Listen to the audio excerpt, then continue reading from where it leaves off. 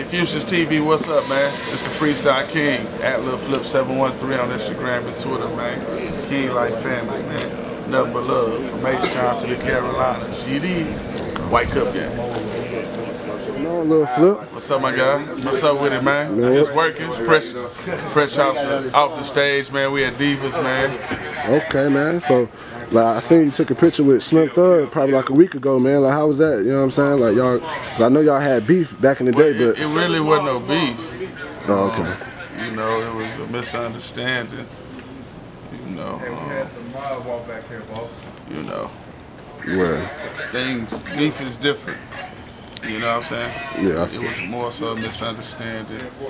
all right. So, you know, it's, it's no secret. You know what I'm saying? You're a part of the Screwed Up Click, man. Like, what's a a crazy uh, memory? You know, with Fat Pat, Big Hawk. You know what I'm saying? DJ Screw. What's a crazy memory you got with them?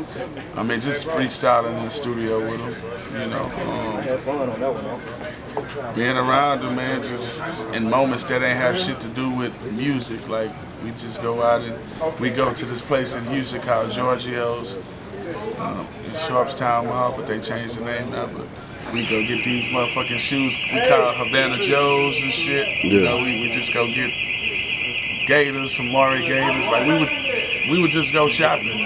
Like a family, family shit. It was like the crazy, crazy memories, just you know what I'm saying, hanging around. You know what I'm saying? Yeah. Freestyling. Nah, I mean, we used to go bowling and shit. It was points where uh, record labels would go, you know, it'd be like uh, Cloverland and uh, we would bowl against different neighborhoods. Then you have like Cloverseed versus Rickshaw, you know, just different. Whoever had labels, we would just bowl against each other and shit. Yeah, that- Talk shit. We would go shoot pool at Cornbreads, you know. We, we had some interesting nights. yeah, cause I seen on the video on YouTube, man, like it was just freestyling. I think it was like Big Hawk. You know what I'm saying? Um, DJ Screw and that shit. So like, what, what's next for you, man? Like, what you got? What, what can the streets be expecting from you? Like, What's next? yeah, what's next for you? Um, we just formed a new company called King Life Family. So we, we about to put out a few albums. Um, I got like three albums I'm about to work on back to back. Um, I got some fighters, some boxers, some MMA fighters as well. We got movies. I got the Art Over Drugs album on iTunes. We got the Art Over uh, Drugs movement. Like we're just doing a whole bunch of shit. A lot of people they didn't know I paint. You know what I mean? Yeah. Then we got the Art of Freestyle album that I dropped on Halloween. I got the Don't Let the Music Industry Fool You uh, book soundtrack and a cartoon coming.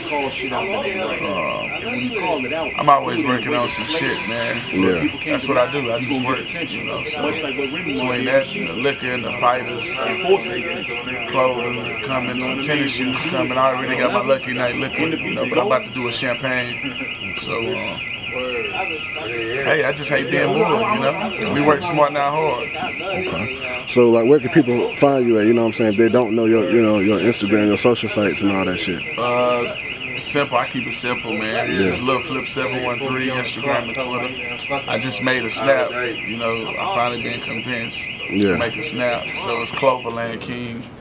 Other than that, you know, shit. Uh, Facebook is Lil Flip, aka Flip Gates. I be on my Instagram mode, you know, Yeah. posting pictures and then do my thing. But I'm about to go in album mode, so I'm finna detach myself from all that shit and get in the lab and uh, put this shit together, put this masterpiece together. I'm gonna take my time.